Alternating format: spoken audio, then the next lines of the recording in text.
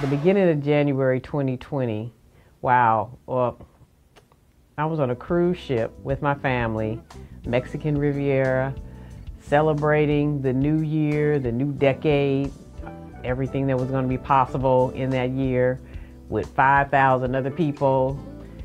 And uh, wow, who knew that it would be anything different, you know, than extraordinary and, you know, all the things that were possible coming into fruition that year with business and family. And I didn't think anything other than it was just going to be a great year.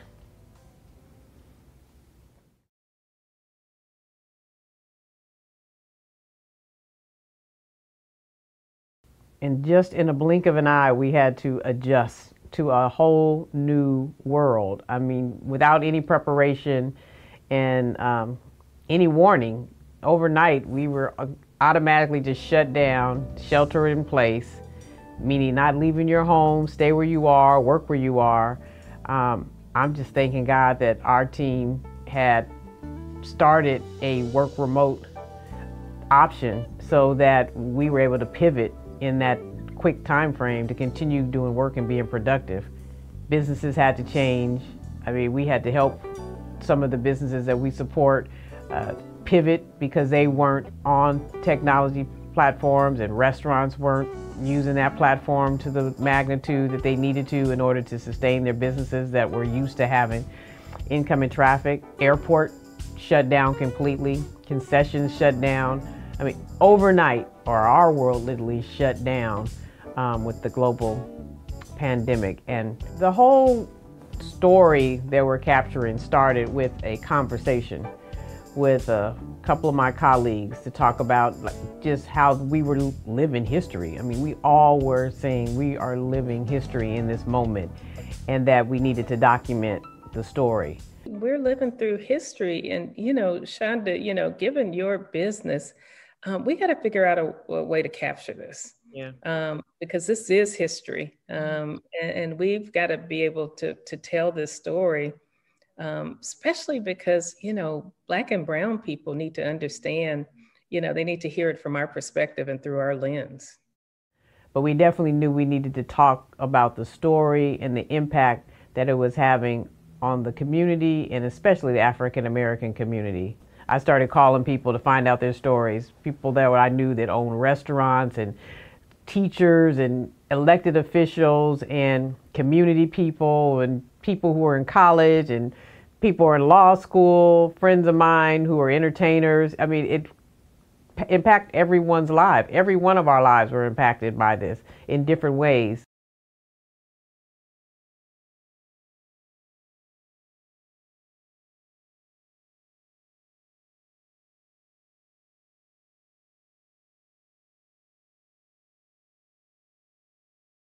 When you first heard about uh, COVID 19, and it may have been at the time coronavirus, when was it and what was your your initial response? I learned about it in February, the end of February, um, actually, right before I was traveling to Europe. Um, I had planned a trip to market in Paris, and I had learned that it had moved from Asia to Italy and then I knew going into Paris, I knew I would be possibly exposed to people who um, were in Italy during the time that the outbreak outbreak happened. I had heard about it earlier um, in the year around January, February, when it was a really big problem in China. Um, and at the time, you know, a lot of people were making jokes and, you know, on Instagram, social media, and it seemed like this very far off, distant thing. Um, but the closer we approached to spring break, it started feeling more and more real. Um, I had peers who were getting school canceled or were going to online classes. And I remember the day before, I went um, to Miami for spring break. And so the day before I left for my spring break trip, my friend and I were saying, Oh my gosh, do you think we're going to be able to come back to campus? And we said, Well, you know, Duke would never just cancel classes and not give us any heads up. Of course, you know, there's going to be a process that happens and, you know, we'll be okay. And so we went on our spring break trip. And the night before we were supposed to come back to campus, we get an email that says, do not return to campus.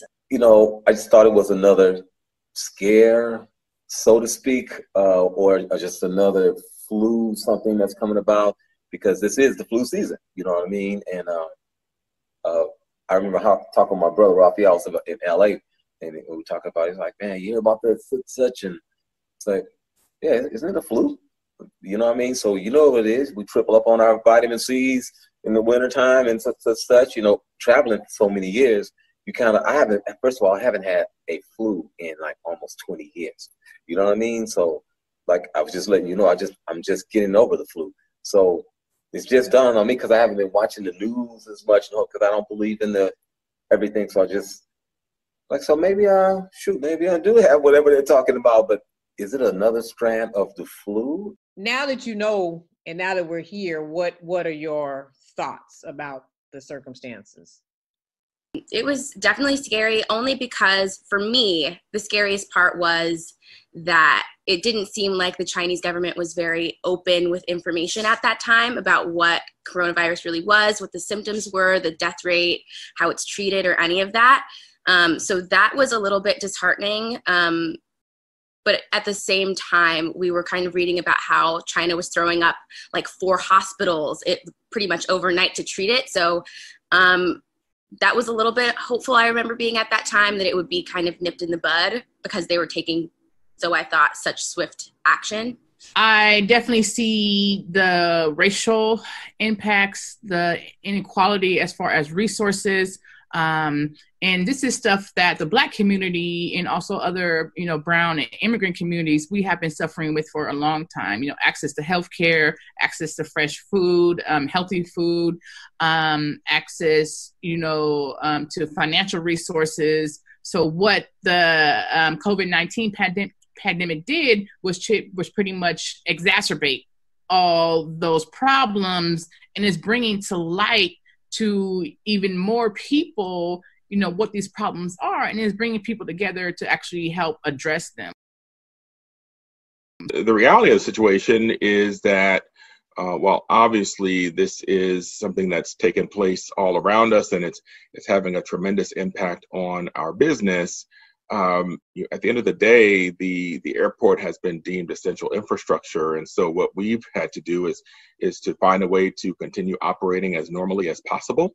Um, you may be aware, I think uh, many have heard that uh, travel, air, air traffic, uh, passenger travel is down over 90% nationwide, and that is certainly the case here in Oakland.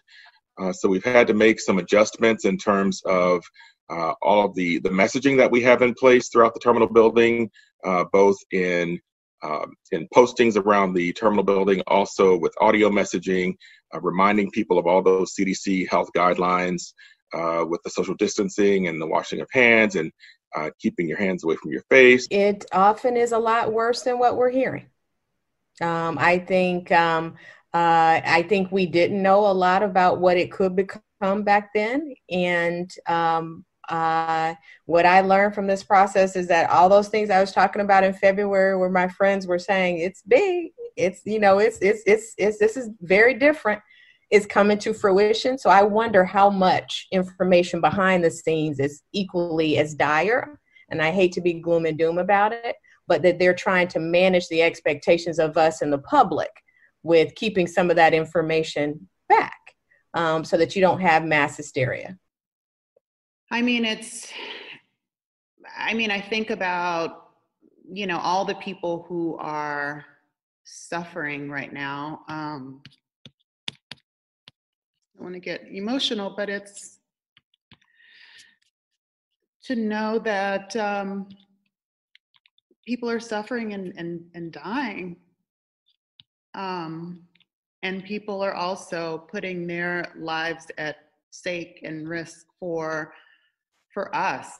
Um, I think about the healthcare workers. I think about even just like our UPS driver that comes every day to make sure that businesses are open. Um, you know, it's it's it's a tough time. it's a really tough time. Speaking on the uh, uh, just the shelter in place, the social distancing, and the distance distance learning that the students, your children, are now having to do, how has that impacted your your life, your daily life? I would get a lot of calls, like, why aren't you closing down school immediately? And it was just this like immediate fear.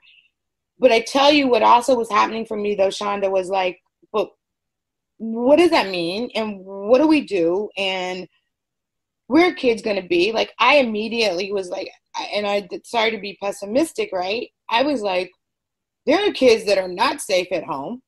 There are kids that do not have homes and then I was like, I went into the domestic violence issue. Like, I, you know, like, I don't know, my stuff was coming up around like, is home safe? And we're saying sheltering in home. So we need to be clear about that and define that. So I was a little bit more on the, the social side of it around is this going to be healthy for people right now we're doing online lear- distance learning and I've signed up. All my kids have signed up. I've got all my classes, all six classes. Kids are in there, and I've given them like journaling assignments because I really do want them to kind of just take care of themselves during this time. Because all of our teachers, math, science, English, all of them, the other elective teachers, are given tons and tons of work, so they have plenty of work to do. But and having been in contact with the kids they are stressed and I, it, it just it breaks my heart because they are really stressed right now so i've given them my PE assignments, I, have told them I want them to stay active. So I've given them workouts that I want them to do. But at the same time, I want them to track it. So I'm like, I want to know what time you're you're waking up. What are you eating all day? What kind of exercises are you doing? How long are you exercising? What time are you going to sleep? How are you feeling? And I really I've asked them to keep a journal and they turn the journals into me. And then I, you know, I grade the journals and put that toward their PE grade. But really it's more for them than for a grade for me. I just really want them to to tap into what they're feeling because they don't know. Poor kids, they're bless their hearts. They're just trying to roll with it, but they are stir crazy. Law school is definitely mentally challenging and emotionally challenging. And what I've found getting through it up until now um, getting through it has been my network of friends who've be- kind of become my family out there, like getting through it together. So the aspect of that being missing has been an interesting adjustment. Doing it kind of like law school isolated is is well, law school isn't fun, but law school while isolated definitely isn't fun. Um, but just kind of adjust to new ways to connect with them on our various time zones has been important. Um, thank God I'm here with my family because that's been a help in terms of my mental health. This whole thing pretty much started with one NBA player testing positive for the coronavirus, and that kind of was a domino effect to shut down college games, pro games, shut down arenas, and then have states declare stay at home policies, right? And so, you know, the sports world is always a microcosm of what's going on in the real world. And I just uh, got a notification today that all of the NBA players from the various teams who were positive, they're all fully recovered now. With the um, disparities in the African American community, and that's part of the lens that we're looking at in our conversations, is do you think that the testing has anything to do with those type of disparities as well? I think the testing really has more to do with the supply of the the test more so than um, you know any sort of racial undertones. I definitely think that the treatment however the people are receiving during this pandemic that that is questionable. I think um, the allocation of resources in states where they have a limited number of let's say ventilators or hospital beds um, or the ability to care for people obviously we're going to see some racial um, biases. Once this is all said and done, we actually have the data and we can take a look at it. I have been traveling around as a travel nurse um, all across the country, uh, treating persons with the virus. And I've seen um, kind of the arc of um, depleted resources and subsequent interventions, um, meaning initially there was some uh, PPE or uh, personal protective equipment uh, to shield the worker from the patient. As the virus continued to spread and develop, um, many entities across America um, noticed a shortage of PPE. And so subsequently, um, treatment facilities and hospitals began recycling PPE and um, enacting various protocols uh, to kind of help the, the worker feel more comfortable uh, reusing PPE. Um, initially, there was a lot of caution about um, secluding persons who was positive and um, screening them um, from coming onto wards or units with other patients who were negative. But as the resources depleted, um, including um, places like the morgue that had gotten overwhelmed with bodies, it had gotten to a point to where, um, you know, people expired, they were just left in the room. I've been in um, hospitals where the doctors didn't even come on to the COVID positive units, that they would call to the nurses station and, you know, we would give our assessments and recommendations and the doctor would provide orders. Um, so it, it has been a, huge variance in, in, my experience from what I've observed um, from the level of care that persons receive. Yeah, I think we better take note again um, in terms of our community. The health disparities is nothing new. Um, this is really bringing it to the, the forefront. Um, as I talk to people from here to Florida and Georgia, um, the sad thing about it is that the, the younger generation is not taking note. My fear is that this thing is going to wipe them out. Um, and because they're still partying, going to the beaches, you know, getting drunk, they're still doing the same thing and not because you know a lot of people thought initially that it couldn't touch the black community and i couldn't understand that because everybody i saw on tv that was dying was black if it came out in terms of the establishment in the sense of how bad it is you better believe it's much worse. How has that changed your your family scenario as well as your professional scenarios? Changed my whole world. I mean nothing is the same. We don't go to the office, but maybe once to record the services on Wednesday and Sunday, but not having a chance to be in fellowship with the other church members and the day to day routine, it's, it's pretty shocking. I mean, I am dumb, dumbfounded by this whole situation, this shelter in place thing. We've never seen anything like this in our lifetime. Yeah, we've seen 9 11 and it changed the way we travel. But for a whole country to be shut down at one time. This is just simply amazing. I, I I'm I'm at a loss for words. Well, it's um, you know, like every business out there, it has greatly impacted um, greatly impacted our business. We're a small business and we rely heavily on people coming into the stores. Our um, business is very much focused on clients coming in and communicating with them that way.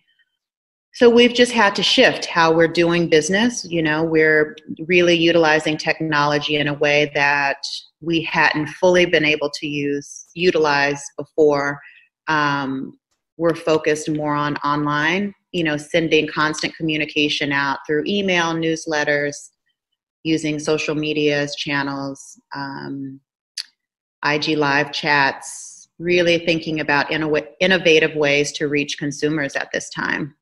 Um, but at the same time, really thinking about what customers are looking for and really being sensitive to what's happening in the world. And, um, you know, it's like on one hand, I think about should we be talking about fashion so much when you know we're we're in this crisis um, but i also think that our customers really want to support us because um, you know we're very community focused and we're a local business and they care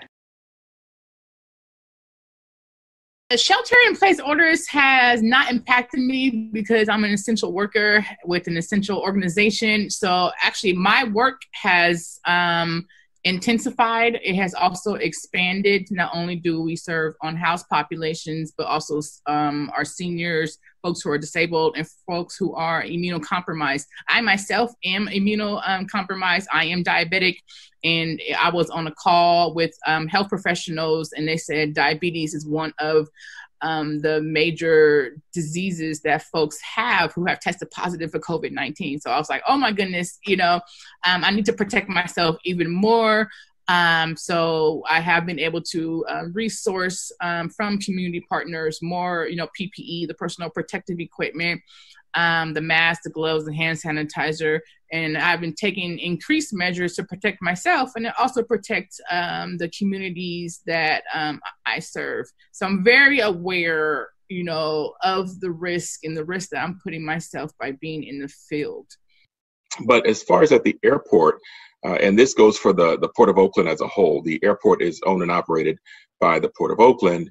And so there was a, a plan put into place immediately after Alameda County um, instituted the shelter in place order in mid March. And so since that time, um, we at the airport have been working on the basis of anyone who is able to perform their work at home, then they are expected to work from home. Um, if your duties cannot be performed from home, which for the airport is many of us uh, on the airport staff, then you have to report to to work on site. Uh, if you are working from home, everyone is on a group, group A or group B. If you need to come into the office, you can do that, but only on your day. So, so that's the way we've been functioning since the middle of March, um, and and Zoom has become uh, and WebEx have become, whether we want it or not, our best friends because we're definitely relying on those types of services to stay in touch there's some some good things that are coming out of this in terms of us taking more and better advantage of technology that I think we will continue to uh, in the future, and we'll be better off for that. But um, but it's anything but normal in terms of how we're operating. But having said that, I think we're doing an excellent job in um, the the level of efficiency and effectiveness that we've been able to maintain. In the every darkness there's some light. There is light that comes to the, at the end of darkness.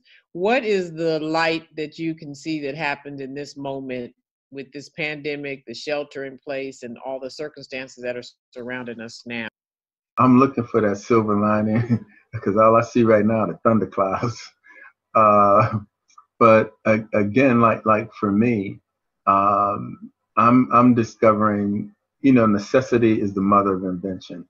So uh, th- this takeout stuff that we're doing, um, it, I'm just learning a lot about uh, delivery service and how we can do some things different than we've done in the past. A part of what we're doing right now is, you know, I'm really going back to the basics. I'm going back to, you know, when I started my business and I was talking to customers regularly, you know i was pulling things for customers. I was in the store. It was when it was just me and a part-time person working. Um, so it's really taken me back to that. Mm, two things. One i think people are learning to value what healthcare professionals do on a daily basis more? And just um, just people in general i mean um, everybody who's on the front lines fighting against this who should be at home with their families but they're saying you know i'm putting someone else's life before mine. I think those are the types of people who um, on a day-to-day basis people take for granted. And so it's just shedding light on how important their jobs are and how appreciative we should be um, with those people. That god is still the same. Our methods might change but the but the message is the same and it's going to go forth no matter what. Whether we have church on Sunday morning at the Vine or at McClymonds on high school, we're still going to preach the word, the gospel of Jesus Christ that still saves, it still delivers, it still heals, and it still set the captives free. That's the gospel. I've enjoyed what I've enjoyed about this time uh, being uh, with the kids being at home is that I really feel like we um, have been able to do some things as a family that we weren't able to do before. Um, because of all of the kids' activities, working, Bible studies, it was pretty rare that we would be able to all sit down and have a meal together outside of like a Sunday.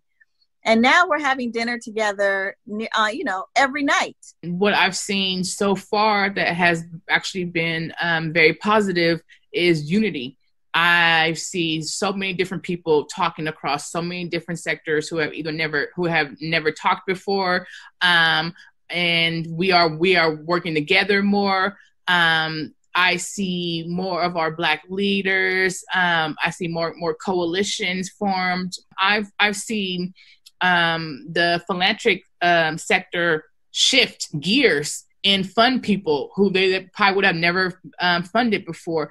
Um, I see the work of different groups being recognized, and that work may have never been recognized before, or more so, um, there wasn't funding for really the, some of the frontline direct service work. Um, so having report more support there.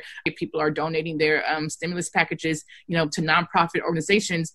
Um, I've seen so much mutual aid, you know, across the the country. Um, I can't even keep track of all the, the spreadsheets and all the announcements that I have seen about um, different resources and, and, different supports, whether it's, you know, you're a low income individual, whether you are unhoused or whether you're housing insecure or whether you are a resident of color you know. Um, so and then you know I've seen direct uh, financial assistance, so like more opportunities to actually put money into hands of people who are suffering financially. Everybody was suffering together, so everybody was in this together, no matter big, small, whatever level, any level. It was all at the same level at the time, and so that became the light at the end of the tunnel that we all had to come together around.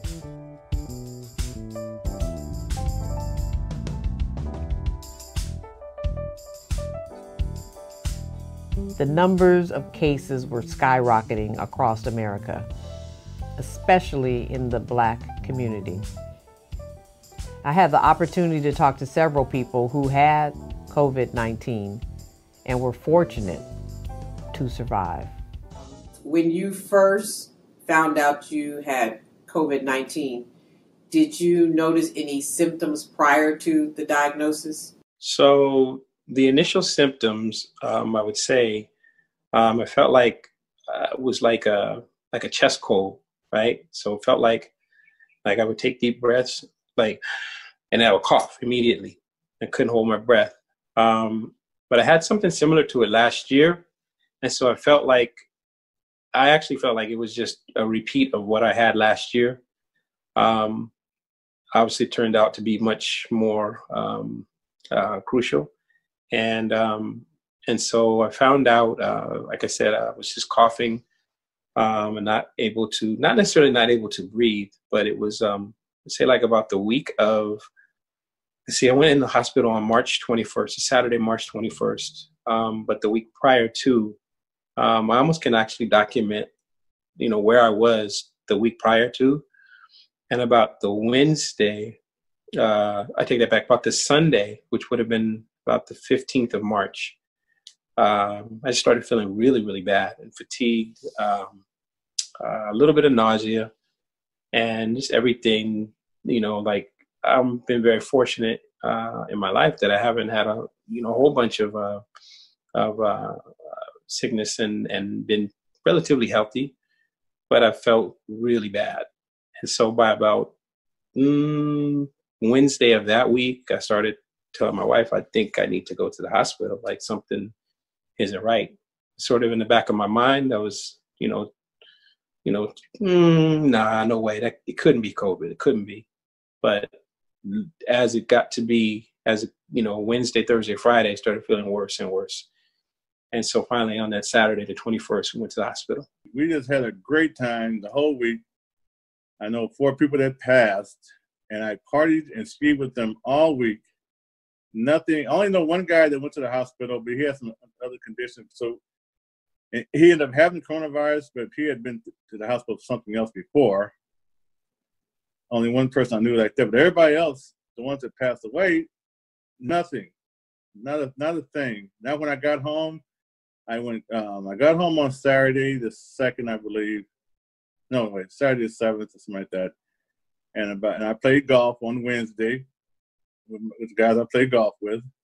We used to play golf every Wednesday. And then on on Friday, man, I just I left.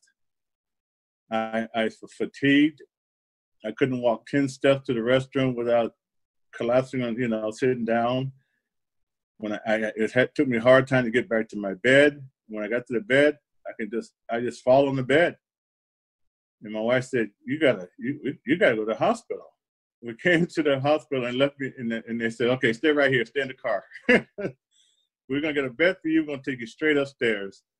And when they took me upstairs, that's when they they started treating me right away. They took the test and started treating me before they even got the results back. They started treating me for it. So I think that was and that was I, I'm sure that was a good thing.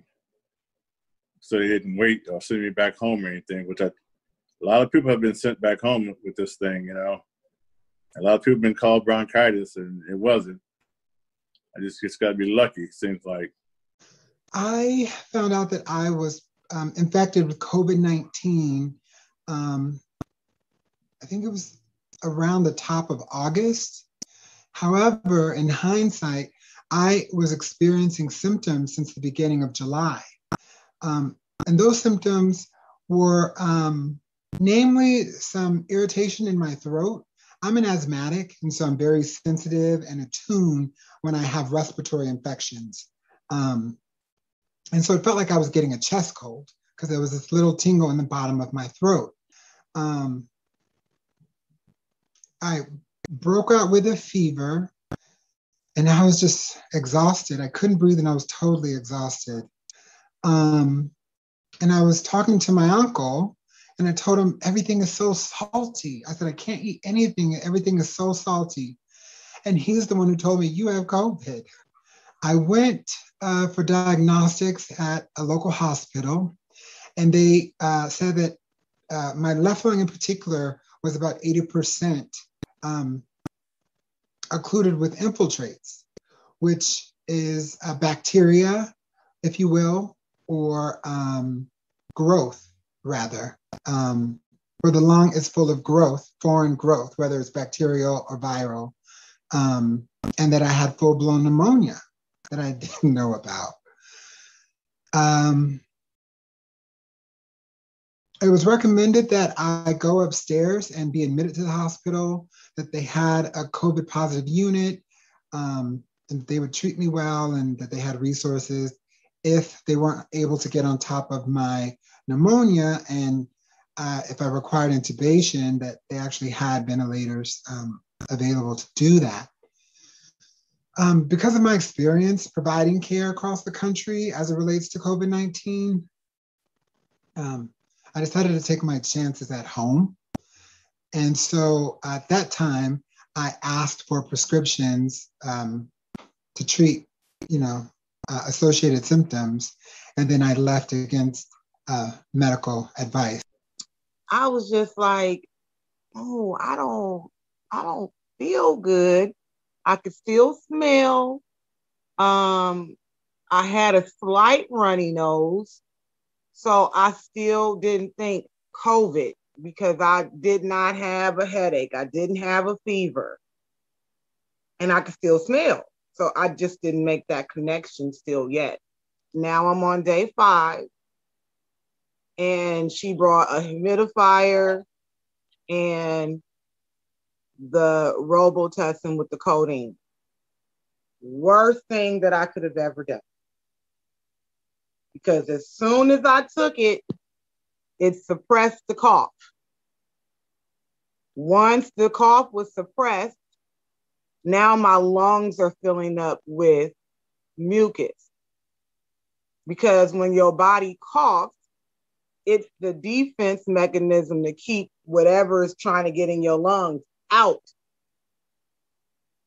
So it's just like a pump. It just pumps it right back out of the lung. But now I didn't took something to suppress that. So now it's just mucus, mucus, mucus. And now I can't breathe at all. And so I called my little sister and I'm like, I need to go to the hospital. They called the ambulance. The ambulance came They didn't want to bring the bed into my house. They wanted me to walk out. And by this time, I was able to make it to my couch, which is like right by my front door. I couldn't even walk the five steps to get to the front door where the paramedics was like waiting to grab my hand to help me down my two little stairs to get on the gurney. I'm just telling you, it, it was like I had been smoking for a like a hundred packs of cigarettes for like 70 years. It was like I could not walk. And I'm can't breathe. By the time I get into the ambulance where they could hook me up to see what my oxygen level was, then it became more dire, like let's hurry up and get going. Meter on your finger for your to measure your oxygen level. And I was like at like an 86. And so yeah, he was like, Yeah, we're gonna have to put you on a ventilator. So now I'm in full panic mode because I've been watching CNN and I've been seeing these people on the ventilators, like that image. I didn't see a reflection of myself as a Black woman. Every time the news media was showing coronavirus, it was older, white um, Americans And, and how long were you hospitalized? Do you recall anything that happened while you were in the hospital? Or were you aware that you were in the hospital? It was not until like maybe day three that I saw my fingernails and the polish had grew so far away from the cuticle that I knew then you've been here for a while because you almost look like the color on your nails could be a French manicure. And so then now I'm like, well, how long have I been here? And then that's when they was like, oh, you know, um, you you don't you don't have to go to dialysis anymore. I'm like, dialysis? What? In my mind, because I have a trach in my throat and I can't talk.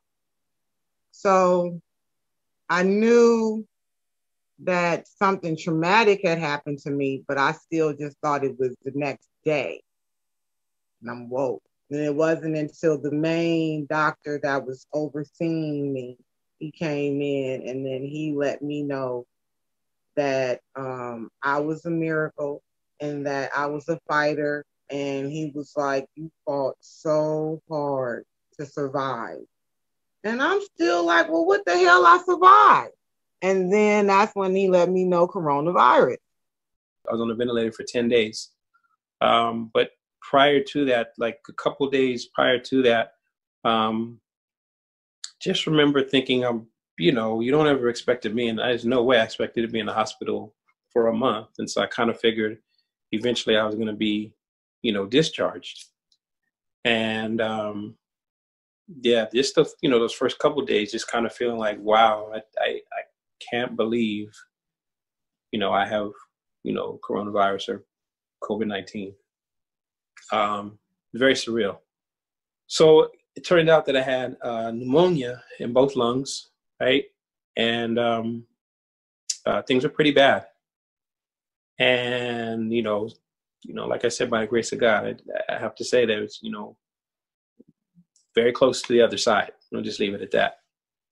And I have an amazing um, uh, pulmonary doctor um, who, quite honestly, he's been very, you know, um, transparent. He said at the time it was so new. Um, I was basically like his second case that that he had dealt with.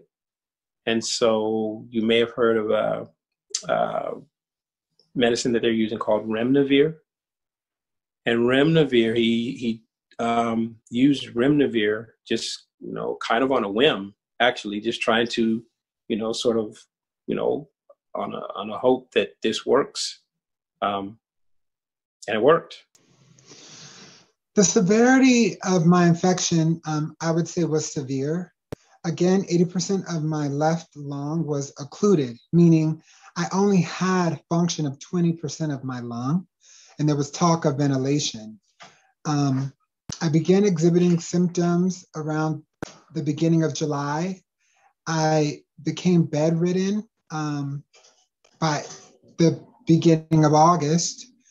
Um, I lost 15 pounds uh, during the course of my illness. Um, and I was so fatigued and so exasperated uh, by lack of oxygen that I couldn't even bathe myself. I didn't bathe for seven days. I had pneumonia and was on antibiotics for 10, 12 days. I was laying on uh, bath towels because I was sweating so profusely. It was difficult for me to, um, so it was difficult for me to maintain adequate um, oxygenation for myself just to kind of live, you know, mm-hmm. to, to survive. Um, if you imagine the lungs as an air sac or, or a bag, 80% of that bag was not functional. It was filled with, um, with solid matter. Instead of air, it was filled with solid matter. So I literally only had 20% of that entire bag left to breathe and to, to survive with. Wow. So I couldn't speak in full sentences, um, and I could only text uh, to get my communication across. Because I had pneumonia, I also had a cough. And um, sometimes with the force of um, coughing, it increases the demand of oxygenation when you inhale. But I couldn't um, meet that demand sometimes. And so I'd get dizzy and woozy um, to the point of um, where I would, you know, almost pass out. Oh my goodness, we're I'm very close with my um my children, my godchildren. I mean, my grandchildren and my wife. And for her to be here at home by herself, and then I couldn't see them, they couldn't see me. It was pretty tough, but they they handled it very well because I kept in touch with them, and I would tell them how I, I would tell them honestly how I felt, how things were going. Uh, they were very worried. I had just turned 43. And within 13 days of that, I'm in the hospital in a coma. My kidney shut down first.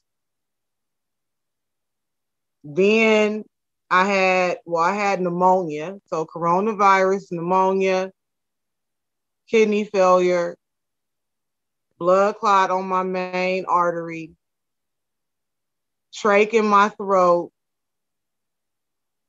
and I'm on a ventilator. And every time they tried to get me off the ventilator, my heart would stop. Or every time they tried to clear the mucus out, my heart would stop. And they didn't understand why. The longer you are in a coma and on that ventilator, the worse it is for your body.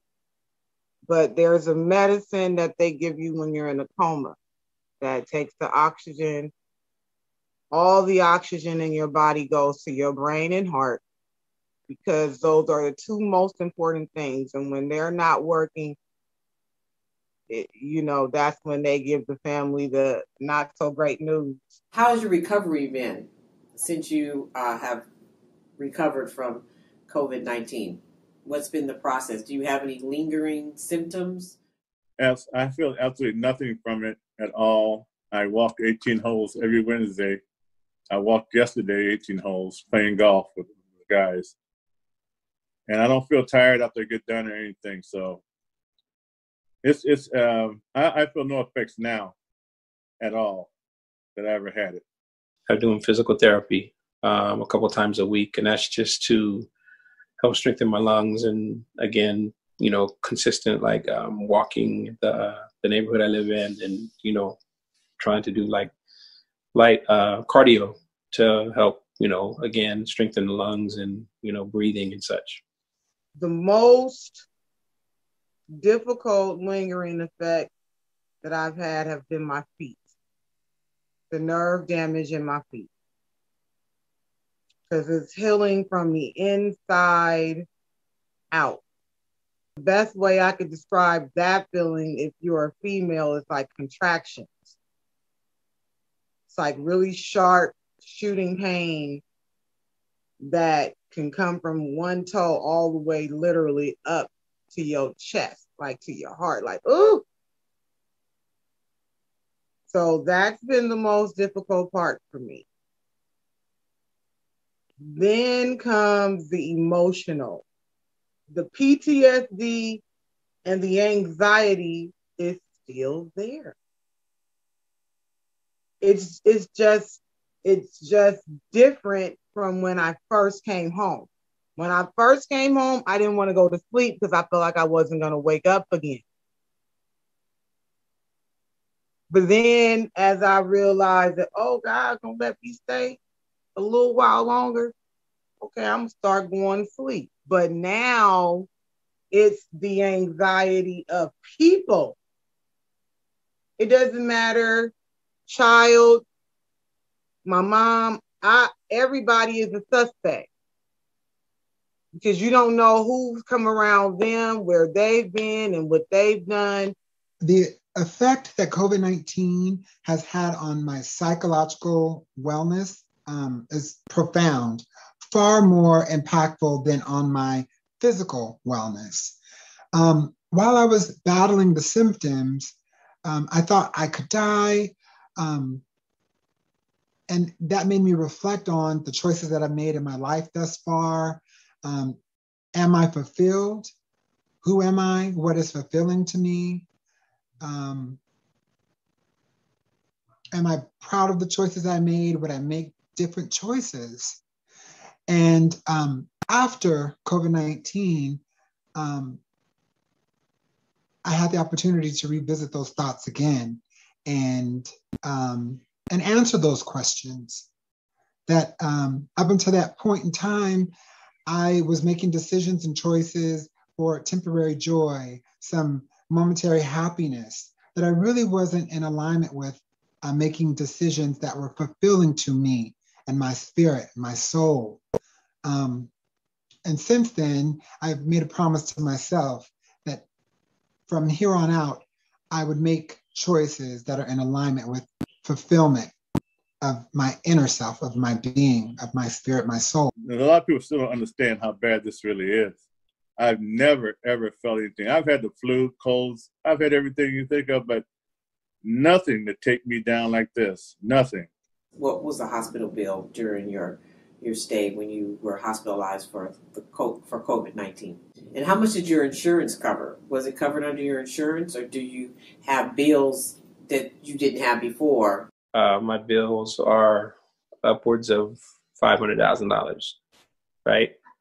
Um, insurance does cover some, but you know, as a matter of fact, there's a uh, shameless plug. There's a actually GoFundMe page that was created by uh, uh, the frat actually um, to sort of help offset some of the, the bills. And how has this ordeal changed your outlook just on life in general? Everything's beautiful now. You can't take it for granted. My grandchildren, you know, and just everything. Everybody's got bikes now. We're all doing bikes now. We, everybody's riding. A lot of family stuff, you know. My impact on like I said, I just want to enjoy everything.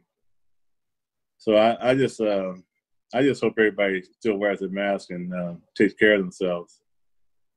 Because if you haven't had it, oh my God, it's terrible. It's just terrible. And to lose four friends that was just skiing and partying with, who were fine, and by the end of March, they're they're all gone. Unbelievable. Have a, a 14 year old, and, and with all the things that are going on in the world right now, you know, that's where I feel like, you know, that's my strongest suit. You know, one of the things is just pass along information and try to um, help the next generation navigate some of the things that are going on. It is just a nasty virus. And I felt like I needed to get all my ducks in a row to be able to share my story with my community as I learned it. Right? and everybody wanted to know like what was wrong and i just didn't want to tell them because i'm like i want to get everything so when i tell the story it's like boom boom boom boom boom boom boom boom boom and then i'm gonna show them what television never shows us right so that's how i end up sharing it. And I just only wanted to be able to help one person. If it just saved one person, if only one person watched the video, I was totally fine with that. But to know that it reached people who weren't even on Facebook were able to call me, email me, text me, um, and tell me that they saw my story because somebody shared it with them and um, you know almost 10,000 people had watched that one video. Now that America's reopening, what advice would you give people uh, on how to adjust to the new normal? Now that you know what you know about the impact that COVID 19 has on uh, a person's mental and physical life. Oh man, it's tough. I, I, they should they should stay home, but I know everybody can't stay home and everybody won't stay home just be careful. And I'm tired of getting on Facebook and seeing all these people talking about their loved ones have passed. And we have to, as a of the black community, whether we know each other or not, we have to educate each other. Carry extra mask. If you see young, young, young men and women out with no mask, give them a mask my best analogy is the mask. Coronavirus is like HIV or AIDS because you can transmit it through interaction, right? The mask is like a condom. That's what you use to protect yourself. Travel, get tested before you go, get tested before you come back so you know where you at. But most of all, take the time to quarantine and and not go into public if you're going to travel. That's really all I can say, you know. But the most important message I can say is get vaccinated. Your health is your wealth. That that's the most important thing that anybody should be able to take away from here is get your health health in order. COVID 19 is impacting all of our lives. No one has not been touched by this disease. And even if you didn't have the disease, you've been touched. Your life's been touched somehow or another. No one's gone untouched. So I realize that. But then when you talk to a survivor of a virus that's killing hundreds of thousands and millions of people in the world, you realize that this is a real situation. And to hear their stories and just how invisible this disease is and how it's taking out lives the way it is, you realize the seriousness of it when you put a face to a disease or a virus. And faces that look like people that you know, people in your family, any circumstance that you could imagine this virus has impacted those people. They were just at an event and something happened, or they just were with their friends and family, and you realize the importance of wearing a mask and how that protects not only you but others. And you realize the seriousness of it when you can put a face to this disease or illness or virus that's happening and this pandemic. And it made me uh, it also gave me some hope too because you realize that what the people had gone through and you realize that they are like walking miracles that they survived it. If they have hope in the midst of a pandemic, we all should have hope, but then we also have to do what we need to do to protect one, uh, one another.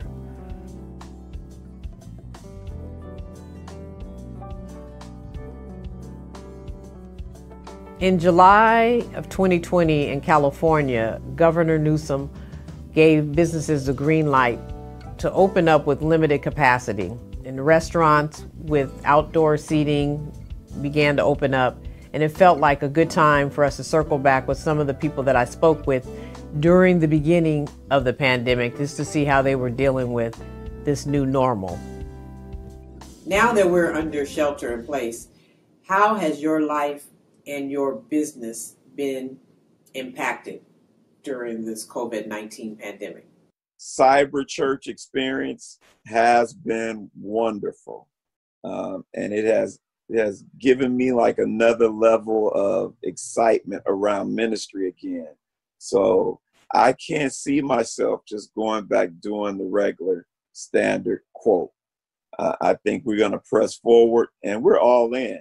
So, what that looks like for our church going forward in the future, I really don't have all of the, the, the nuances worked out, but is something that we are in conversation about. So I really try to take the things that I'm passionate about, um, and like my professor said, you know, really find how you can make quality experiences from home.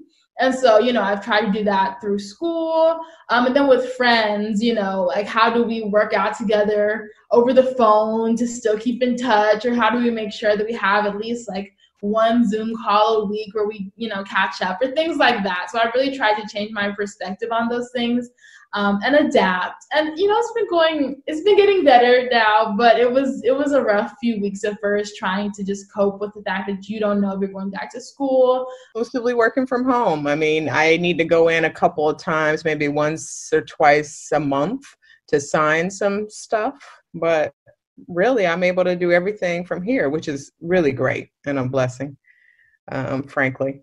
Yeah, my whole my whole team at work is able to do that which makes me happy because everybody can stay safe and we can still do what we need to do. I got uh, a number of calls from people within the community that said, "Hey, man, if you open up, uh, we'll support you."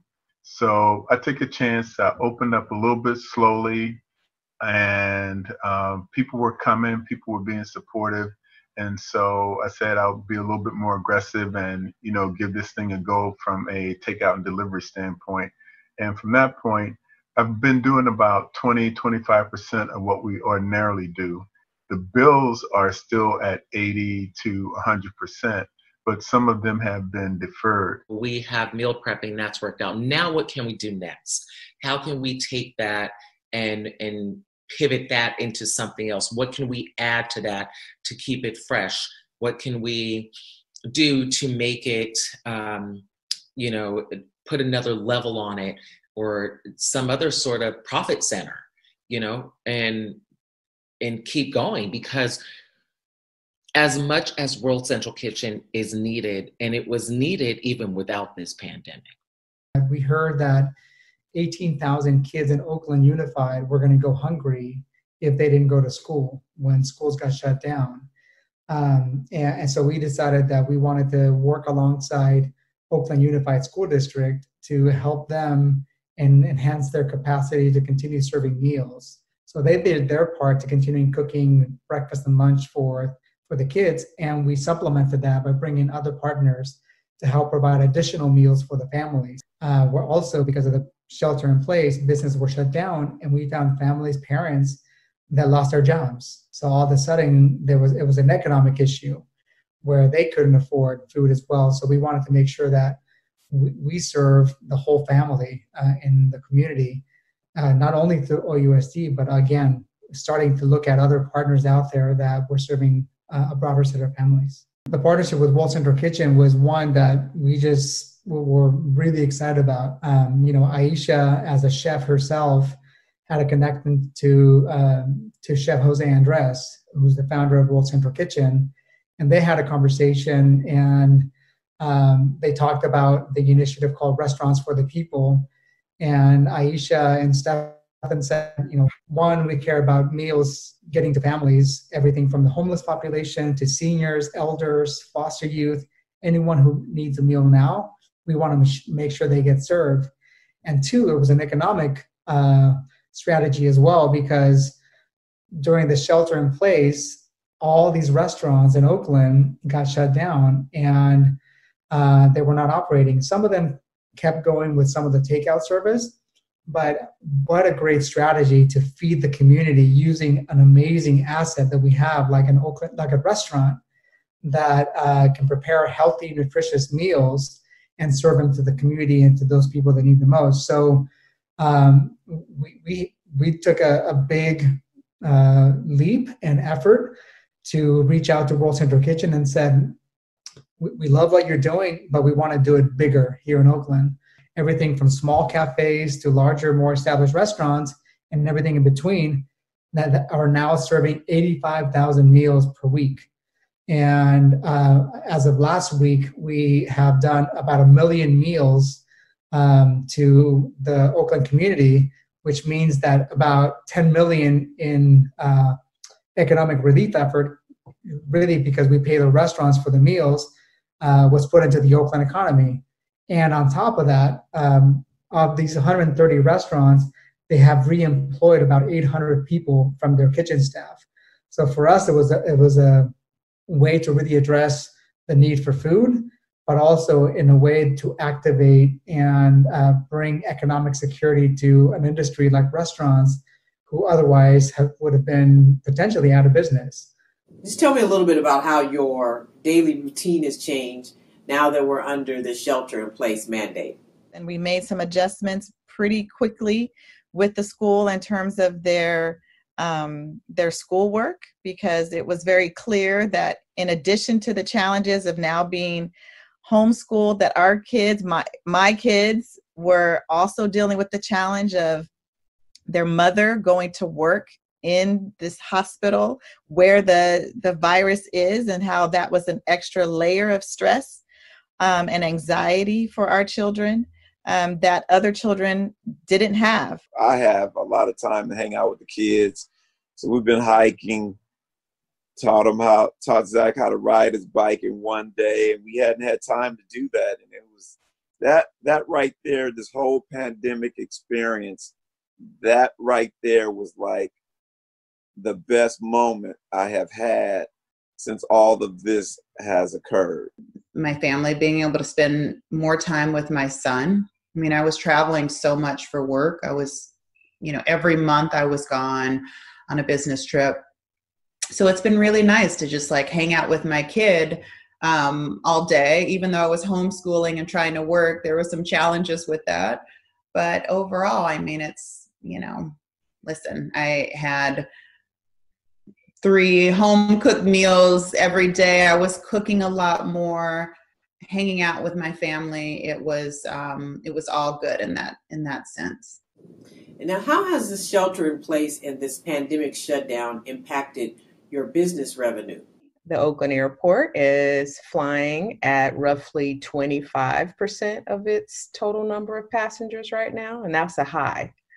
Um, so, as you can imagine, um, the concessionaires, the airlines, we're struggling on that part. So the port is actually thinking that we're going to face about a hundred million dollar annual revenue decrease between the end of this fiscal year, within which ended June 30th, and then all throughout next fiscal year. So until next June 30th, we're looking at a hundred million dollars less in revenue. Now I'm only open uh, from four to about 7:30, so that changes everything and changes how the day is structured. It's also put a total damper on um, our alcoholic beverages sales. The financials don't work. They don't pencil out for you to have a full-time bartender there for that period of time. So it's a little bit it's a little bit different. But again, uh, now that I've seen the support, I want to be more aggressive on those. And um, I think in about two weeks, I'm going to offer on a regular basis uh, takeout cocktails. We were definitely impacted. Significant decrease in sales um, because our stores, both stores were closed, obviously. So the online part of our business was not the biggest part of our business. It was a smaller percentage of our overall sales. Uh, brick and mortar is just where we do the bulk of our business. Um, but now we've really, like I said, we we had some time over the last few months to really rethink how we do business going forward, what makes sense for the overall sustainability and growth and all of those things. um, but we definitely were impacted financially. There's a, absolutely. Uh, I have a deferment but the real challenge is that uh, at some point the bill is going to come due. So you'll be, you, I would be in a situation where I have the current rent that will be due, and then I'll have to pay the deferred rent. And you'll be paying that with a maximum of 50% of the revenue that you could generate. So that's a business model that's not viable. And so my hope is that landlords, commercial landlords, renters, banks, cities uh, have to get together in some way to figure out how to be able to spread this over a period of time.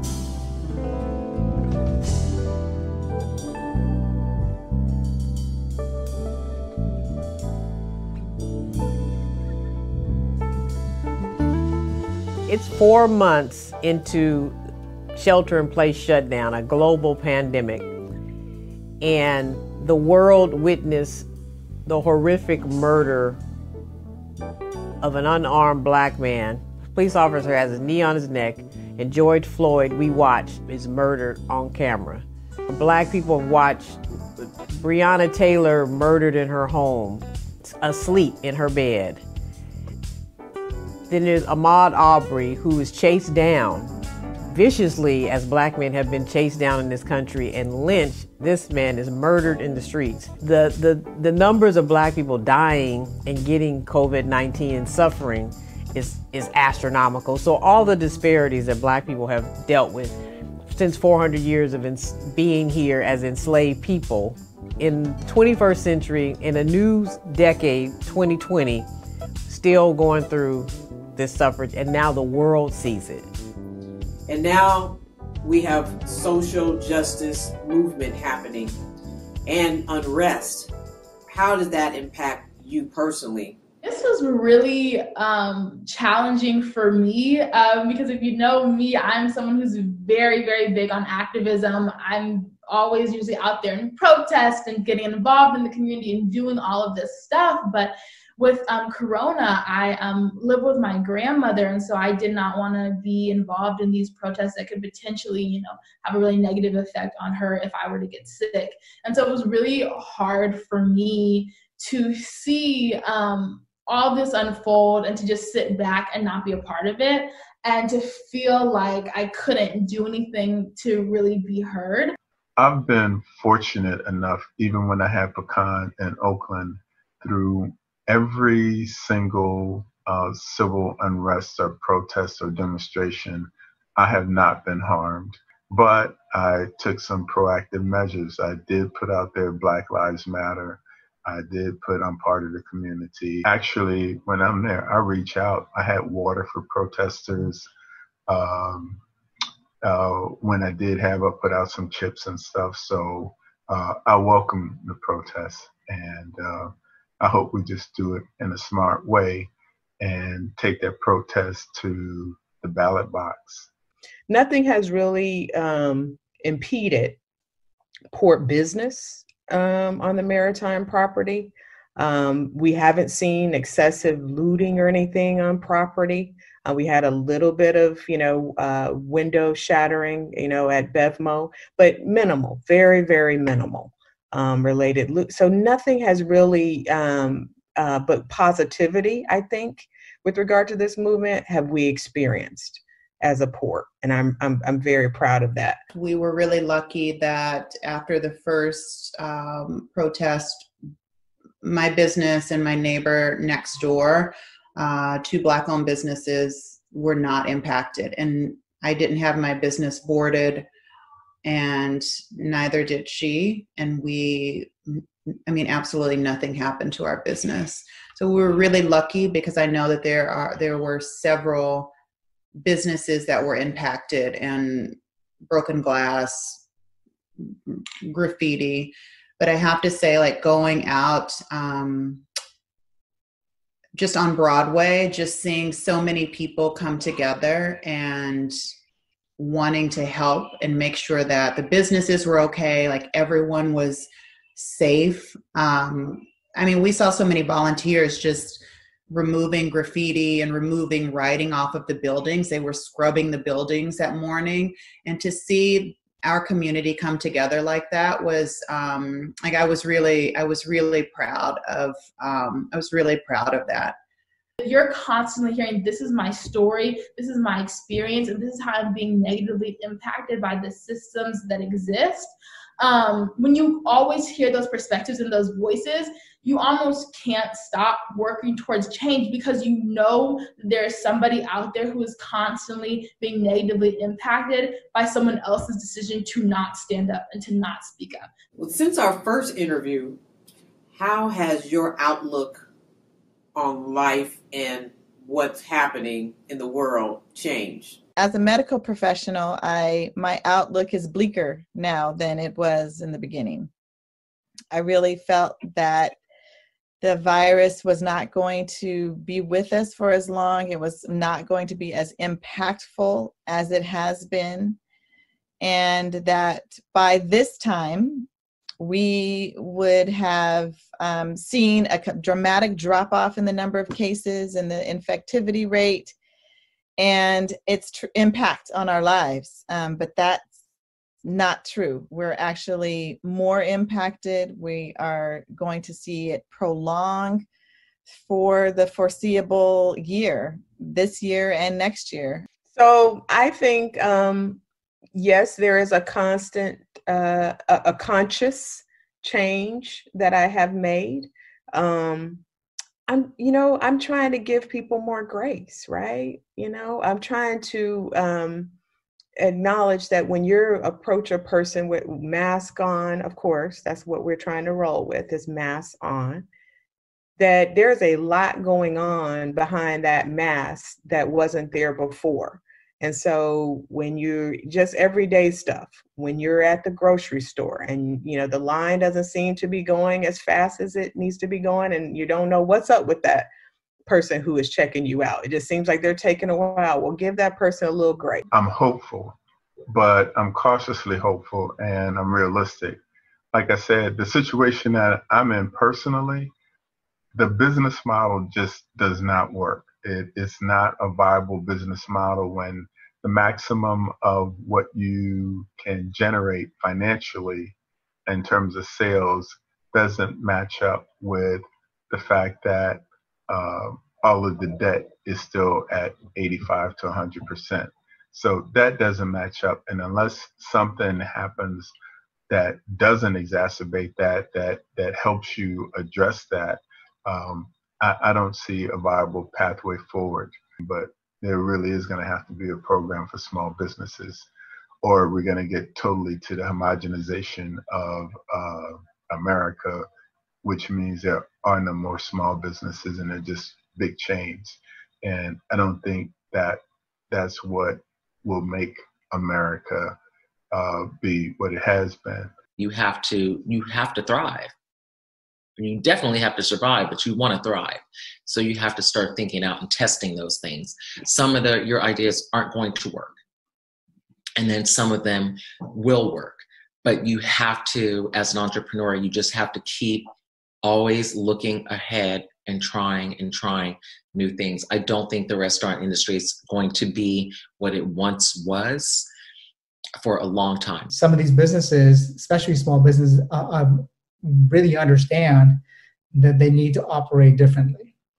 Uh, because if it's not COVID, it's going to be some other crisis that comes in, the, in later that's going to affect the way they, they operate. So everything from the way their business model works. You know, take restaurants, which we're talking about right now, for example. Um, you know, how are we also helping restaurants rethink their business model so that they do more, integrate more technology into their business, whether it's you know to more online ordering, online presence, um, but but they really need to rethink their business model. So all I can say is that we are definitely walking by faith because we definitely don't know what we're seeing right now. And sometimes what we see can be distracting. It can make us depressed. It can it can give us all of these anxieties and and and the community is feeling those anxieties And so, as a shepherd, pastor, leader of a church and a community, and a husband and a father, you know, I, at this moment, I have to make sure that I'm not showing signs of cracking. So I have to depend on God because it's a faith walk right now. It's a, it's a journey of seeing how much faith you have in believing what the word says about you. People became I think, a little bit disenchanted with what is life because you want to get back to some sense of normalcy, but we're it's not there yet because and we still are going to have to go through that even after things are opened up again because we are living in a world of post COVID-19 meaning like now we know this virus exists amongst us and if we don't do what we need to do to protect ourselves we could be closed down a, a completely again so the real key and all and all of this turmoil that's going on is what's going to happen with the election.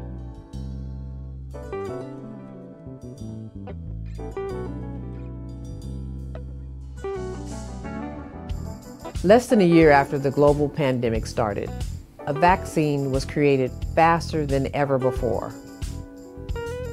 The federal, state, and local governments partnered with churches to serve as healing places vaccinating our communities? So I understand completely why people are skeptical and hesitant to believe anything that comes out of the mouth of healthcare providers.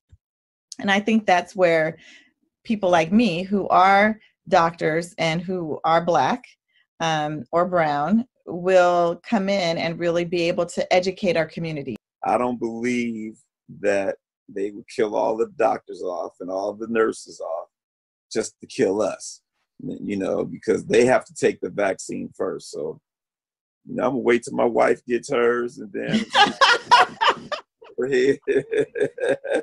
I got mine at True Vine Ministries, where Pastor Zach and Dr. Donna are the leaders.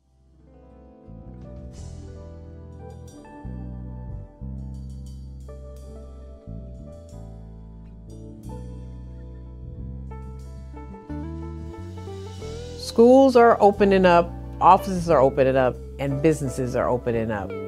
However, there are some businesses and places that will not reopen. However, in the midst of the closures and the non reopening, there will be a new breath of life where people will start new businesses and churches will change how they serve their communities with their now massive online presence.